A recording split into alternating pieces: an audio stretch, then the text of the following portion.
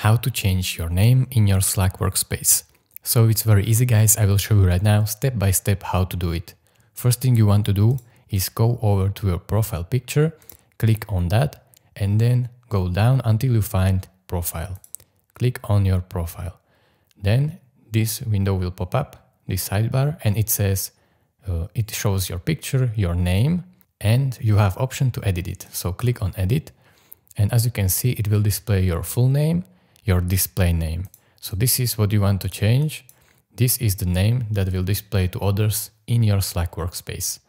So you can change that. So let's say I want to change it to, and then you can also add a title. So let people know what you do at Checkmark tutorials. So let's say, so you can add your title so people know what you do. So this is how you change your name, then simply press save changes down here. It's really easy as that guys. Thank you all for watching. If this was helpful to you, consider subscribing and liking this video. See you next time. Bye. My pleasure.